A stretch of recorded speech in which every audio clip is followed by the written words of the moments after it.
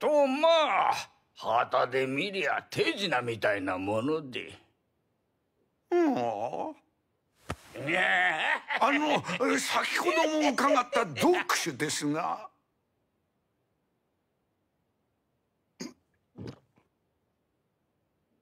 あんたその年で暗殺でも企んどるのかね。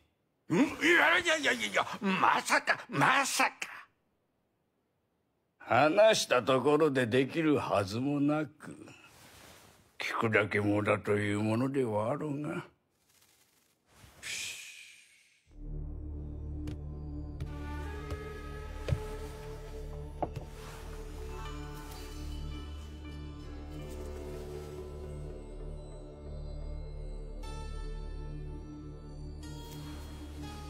正確に計量した薬物天然の毒虫や毒草といったところですな。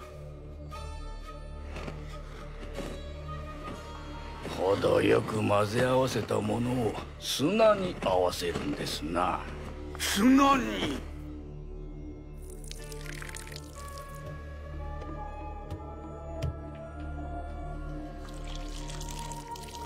これを数回繰り返すと毒草の完成ですわ毒草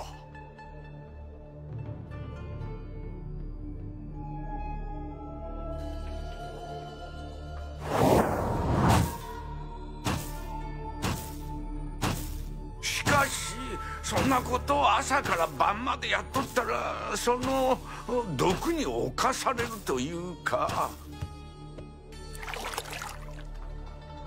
はあ毒を中和させるために戦薬ですか？毒草と戦薬。これを日中は7分ごと夜間は9分ごと繰り返し繰り返し。空洞の修行ではこれが最も苦痛を伴う。痛いですね。痛みに耐えかね手首を切断する者までおりますからな。5日目に入り皮膚がさつまいも色になり始める。